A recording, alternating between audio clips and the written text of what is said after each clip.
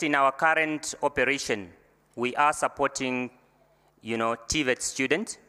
maybe not to the extent that um, everybody expect, but we are um, supporting uh, TVET students. And where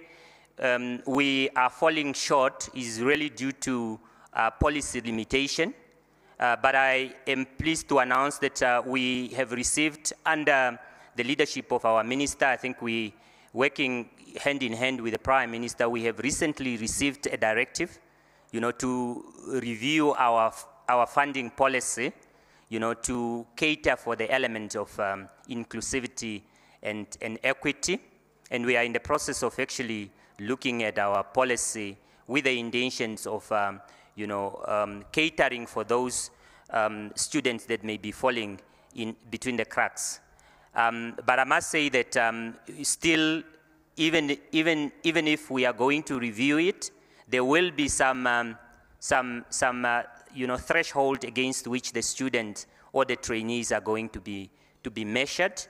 you know, in order to ensure that um, there is quality and there is also return on investment. So you may have heard the questions that the Vice Chancellor of the university has posed uh, to the effect that, um, you know, if NSFAF is funding or is spending so much? Do we have a tracer or do we do tracer studies in terms of where those people are after finishing um, their studies and so forth? All those fact or those factors, among others, are going to be considered as we review our policy.